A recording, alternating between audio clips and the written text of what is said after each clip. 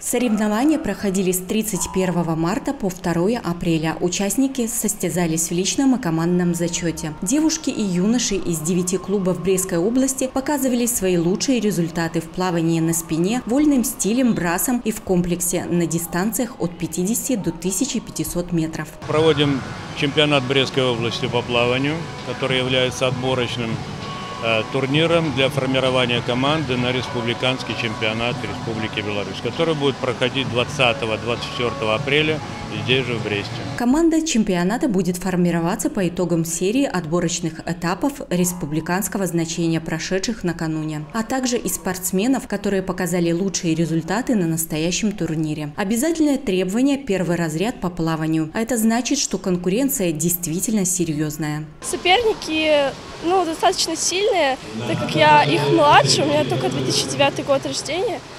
Э, ну, э, хотелось бы чуть-чуть побыстрее проплыть. Вот сейчас дистанцию 50 метров на спине, улучшил свое время. Противники сильные все, нужно стараться выполнять разряды, занимать места. А какой у вас разряд? Почти первый взрослый. Всего в областном этапе было задействовано 116 участников из Барановича, Жабинки, Ивацевичи, Кобрина, Пинска, Пружан и Столина. Наибольшим количеством спортсменов был представлен Брест. За наш город выступили порядка 70 юношей и девушек из двух команд Центра Олимпийского резерва. А лучшие результаты в личном зачете показали брещане Анастасия Шкурдай, Иван Адамчук и Егор Канцер.